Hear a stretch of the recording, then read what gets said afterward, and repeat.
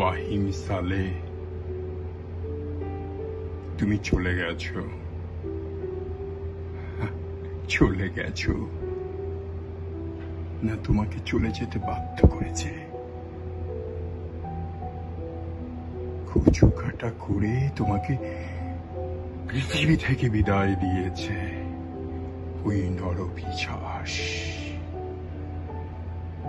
আমি তোমার উদারতাই ছিল তোমার দোষ, তোমার দুর্বলতা। তখন যদি ধরিয়ে দিতে পুলিশকে, হয়তো তোমার জীবনটা বেঁচে যেত। তোমার ওই উপরে ওঠার সিঁড়িগুলো কেমন ছিল জানি না, কিন্তু এত অল্প সময়ে তুমি কত দূর উঠে গেছো। আর ভবিষ্যৎ তোমার দিকে তাকিয়েছিল। আর একজন স্টিভ জবস বা বিল গেট বা ল্যারি উইলসন বা বাংলাদেশি কোনো প্রতিষ্ঠিত ছেলে। তোমার পারিবারিক পিছনটা যদিও সন্দীপের ছিল জন্ম তোমার যেখানে হয়েছে সেখানেও আমি ছিলাম। তখন তুমি এক দুই বছরের ছেলে ছিলে। গত আঠাশ বছর আমি এখানে কত কটাক্ষ শুনেছি গত দু বছর। আঠাশ বছরে তুমি কিছুই করতে পারোনি, খাজা মর্তুজি সন্টু না একটা বাড়ি, না একটা গাড়ি, না একটা বউ, না একটা সংসার, না ভালো চাকরি, না পয়সা, না ব্যাংক ব্যালেন্স, কিছুই না। তখন হঠাৎ করে তোমার মৃত্যু, ফাহিম সালে। আমাকে মর্মাহত করছে। আমার জীবনের কতটুকু মূল্য বলো?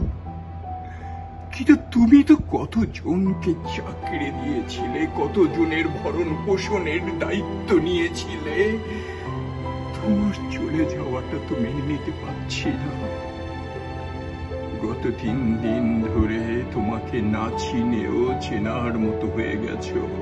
তোমার হাস্যোজ্জ্বল চেহারা সিএনএন এবিসি এনবিসি আর যত চ্যানেল ফোর চ্যানেল ইলেভেনে ফক্স ইলেভেনে যখন থর করছে, তখন আমার বুকটা বারবার কেঁদে উঠছে। ফাহিম সালে, তুমি পৃথিবী ছেড়ে চলে গেছো। ওই আল্লাহ তোমার আত্মার শান্তি দে। তুমি ভালো থেকো।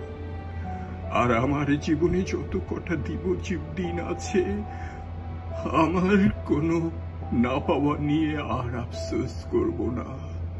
তোমার হাস্যোজ্জ্বল চেহারাটা, সাফল্যের উল্লাসতা বারবার মনে করব।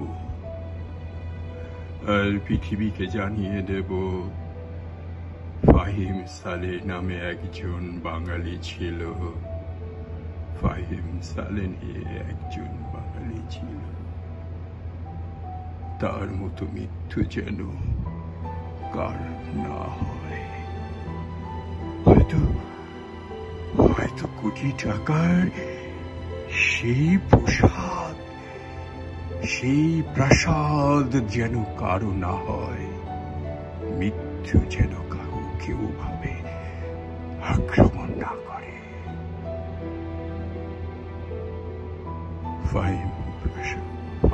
সালে। তুমি ভালো থেকো।